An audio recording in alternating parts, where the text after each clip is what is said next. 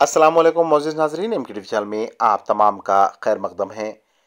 तारीख़ी सकाफ़ती और मजहबी इमारतें, जो कि हुक्काम की लापरवाही से गैर समाजी अनासर का अड्डा बनते जा रही है। ईदगाह मिरालम का भी कुछ ऐसा ही हाल है।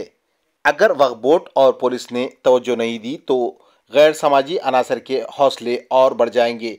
पेश है इसी ज़मन में हमारे नुमाइंदे शेख यूनुस की एक ख़ास रिपोर्ट। शराब की बोतलें किसी शराब की दुकान में या मैनोशी के अड्डे पे नहीं। ये एक शहर की खदीम ईदगाह मिरालम के अहाते में बिखरे पड़े हैं।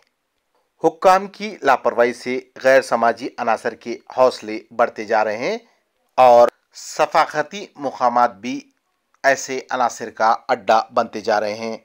लॉकडाउन से कबल वक्फ बोर्ड चेयरमैन सलीम और वक्फ बोर्ड के अमले की जानब से यहाँ दौरे किए जाते थे, जो कि ईद उल अज़हा और ईद उल फितर के मौके पे होते थे।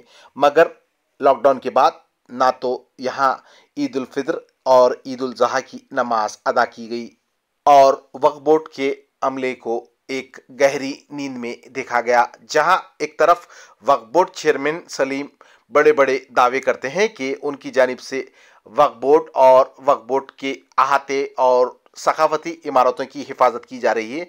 वहीं पर आप अपने टीवी स्क्रीन पर देख सकते हैं कि ईदगाह की अहाते में किस तरीके से कैसे कैसे चीज़ें बिखरी पड़ी हैं, जिसमें इंजेक्शंस भी हैं और कुछ ऐसे चीज़ें हैं जो आप अपने टीवी स्क्रीन पर देख सकते हैं।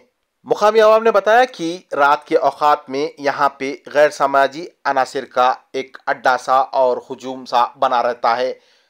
हुकूमत तेलंगाना, वक्फ बोर्ड और पुलिस को चाहिए कि ऐसी सकाफती इमारतों की वो हिफाजत करे ताकि कोई गैर समाजी अनासर यहाँ पे अड्डा ना बनाए।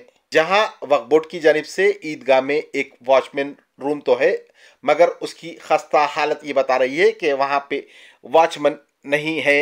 वक्फ सलीम, जहाँ बड़े बड़े दावे और वक्फ बोर्ड की तरक्की के बातें करते हैं, उन्हें चाहिए कि ऐसी सखावती इमारतों की पुलिस और वक्फ बोर्ड हिफाजत करें। नाजरीन, अगर आपने हमारे चैनल को सब्सक्राइब नहीं किया तो ज़रूर सब्सक्राइब कर लें और हमारी हिम्मत अफजाई करें।